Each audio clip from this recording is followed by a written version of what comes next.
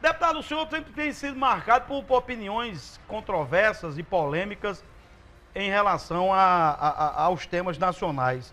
Esse Brasil de hoje, de corrupção, de prisão de políticos importantes e influentes, de gente grande, até da, do Planalto, já citado em delações da Odebrecht. Esse país tem jeito nesse cenário de hoje? Olha, se eu não tivesse esperança, bem como os que me acompanham, nós já teríamos tirado o nosso time.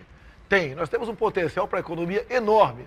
Quando se fala em turismo, se você não combater esse tipo de crime, que acabou de ver aqui, não tem turismo. O turista não vai em local onde há violência. Não virá para cá se a violência imperar aqui. Como você resolve esse negócio aí? É na base da pancada, meu amigo.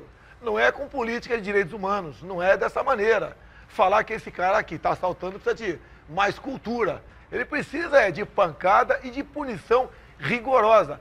Para esse caso como esse aí, eu tenho um projeto em Brasília. Eu mostrei agora.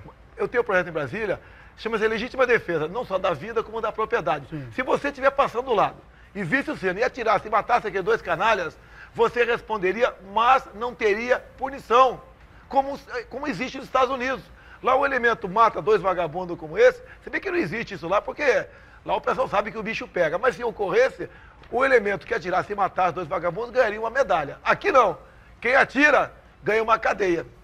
Porque dizem que não é essa forma de combater aqueles dois coitados que são vítimas da sociedade.